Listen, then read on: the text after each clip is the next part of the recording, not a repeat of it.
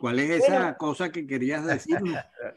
devela el misterio, María Sol, devela el misterio, por favor. Después de la anécdota eh, y después de haber pensado también en Venezuela con el deslave y lo poco humano que somos, un tema que me parece interesante es qué perspectivas se le podrían presentar a, Francia, dadas las tendencias que se han vivido en los últimos tiempos a raíz de las elecciones legislativas, porque el país se, ha presentado como partido eh, dividido en tres fuerzas equivalentes, más o menos cada una con el 30% de la población, que son la extrema derecha, la extrema izquierda y el centro, que es la posición de, Macron.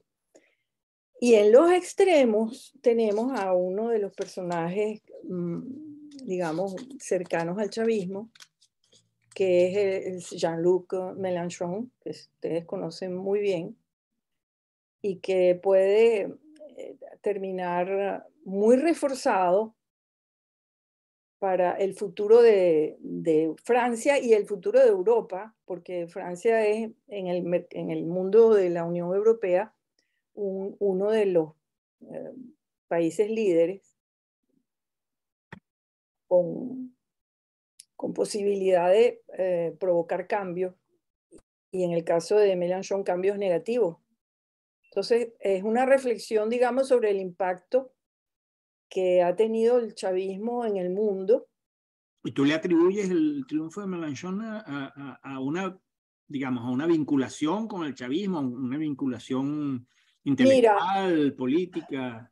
Mira, eh, establecer causalidad es muy difícil porque eso no es imposible. Pero yo pienso que la, eh, Melanchon ha tenido mucho apoyo y yo pienso que se ha inspirado porque nos guste o no, Chávez fue un pionero en la nueva política. En el caso de él no fue porque tuvo un desarrollo intelectual que le dijo hay que hacer esto, sino que tenía una intuición muy primaria, pero muy acertada. Y estaba en un país muy desarticulado, que es un poco lo que estamos viendo en las democracias modernas. Pues. Entonces, eh, la, la, relación es sin duda, Melanchón pasaba vacaciones en Margarita, de paso. E, ideológicamente su, su, proyecto es de refundación constituyente, referendario, eh, o sea, él tiene una serie de principios que son... La, la, pregunta, María Sol, que, que, a mí me surge es, por, y eso lo hemos abordado y lo vamos a seguir abordando, ¿por qué las sociedades escogen a estos personajes o a estas orientaciones. ¿Cuáles son los déficits? ¿Cuáles son las carencias? ¿Cuáles son las expectativas que hacen que una sociedad se, se meta en un camino que no es que pasó hace 300 o 200 o 100 años en algún otro país, sino que está ocurriendo en otros países del mismo modo. Pero, pero eh, fíjate, ahí hay, hay, una cosa que es ilógica y que te la puedo ilustrar con el resultado de lo que fue la, la primera vuelta de las parlamentarias que ocurrió el 12 de junio. Y Marine Le Pen sacó la, ah, fue la segunda vuelta para la presidencial, la presidencial.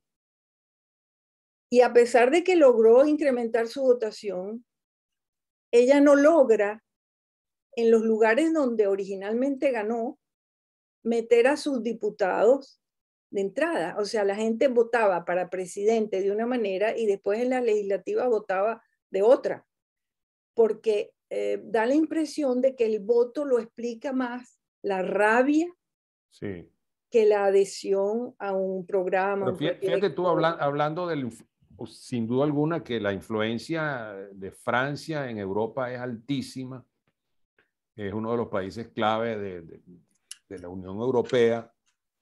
Pero fíjate tú, por ejemplo, el caso español.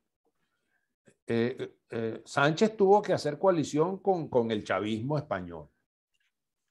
Pero eso se convirtió en, un, en, una pelea de perros que ha terminado muy mal para el izquierdismo y, y, y, sobre todo para el propio Sánchez, que ha pagado el precio altísimo de haberle dado la mano al, al amigo Iglesias. Y no solamente la mano, le dio la vicepresidencia del, del reinado. De manera que yo creo que, eh, fíjate tú, por ejemplo, cómo en las últimas elecciones los movimientos, el crecimiento de Vox, el crecimiento del PP, en España se está comiendo al Partido Socialista Obrero Español, que es una cosa rarísima en la, en la política española. Bueno, que eh, caminamos hacia los extremos. Caminamos hacia los extremos, pero yo, pero yo creo, María Sol, yo creo, María Sol, que el juego no le sale muy bien a ellos en los países como Francia, como España, en los que existen instituciones sólidas, con, con estados consolidados. Ese riesgo yo lo veo mucho menor en Francia, en, en, Europa en general, que el riesgo a que nuestros países latinoamericanos... Pero que sí, porque hay, porque hay instituciones. Por la precariedad instituciones balancean claro. esos Exacto. movimientos de opinión pública, pero el hecho de que haya gente que cada vez se, se, se desplace más hacia los extremos, quiere decir que hay una búsqueda de algo, de algo, y ese algo yo creo que es una cosa que nosotros debemos explorar en futuros programas. ¿Qué está buscando la gente? ¿Por qué la gente, eh, aun cuando ocurra lo que ha ocurrido en Venezuela, en Colombia ha pasado, digamos, en Estados Unidos, con el Congreso. En Estados Unidos. Claro, claro. Y, claro. y ahora vemos en Francia. Es, es, decir, hay una dinámica interior de las sociedades de este tiempo que pareciera orientarse bueno. a la polarización. Ok, ¿qué es lo que quiere la gente? ¿Cómo, ¿Cómo saber, Carlos, qué es lo que quiere la gente si no le preguntamos a la gente? Es decir, fíjense ustedes la vinculación de esta pregunta con el tema que vimos antes sobre la película y sobre el efecto que tuvo en la gente, el, el, el, el distanciamiento que tenía este señor Feinberg inicialmente de los familiares de las víctimas, tanto que una de sus abogadas le pregunta, pero tú has hablado con ellos.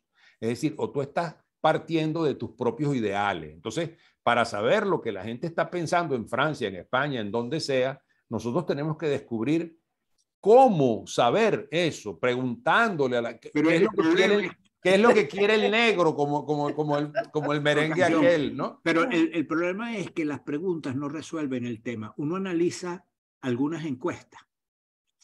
Por ejemplo, para Venezuela, en Latinobarómetro, la, el 80%, si mal no recuerdo, eh, quiere la democracia y está en contra del gobierno de los militares. O sea, y, y considera que es una, una, democracia. Muy paradójico. Entonces, ahí hay unas paradojas de lo que los ciudadanos observan, ven, opinan con respecto a las conductas prácticas que adoptan. Es decir, hay mucha gente que cree en el pasado, en el caso de Venezuela, que apoyar al chavismo y todas las barbaridades que hizo eh, era una manera de ser democráticos. Ya no, ya, ya ese apoyo se disolvió. Pero así ocurre en otros países. La forma de ser democráticos es apoyar a una, una posición cada vez más autoritaria.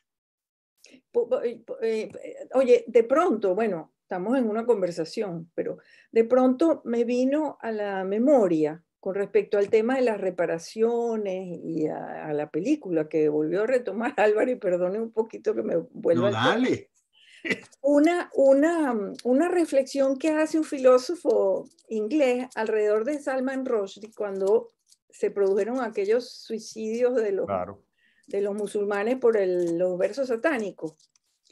Y la reflexión que hacía en ese momento es la que ahora se me presenta cuando pienso en hasta dónde pueden llegar las sociedades con el tema de las reparaciones. Porque ese ético es un, James Griffin, que es un ético, filósofo ético eh, inglés, decía que el costo de restringir las libertades de Rushdie era demasiado alto para las sociedades democráticas y que nadie podía establecer una, una, causalidad en los suicidios que se habían producido a causa, a del libro de los versos satánicos. Y que era mucho más útil que las sociedades eh, entrenaran a, una, de una cierta forma a la insensibilización de la gente.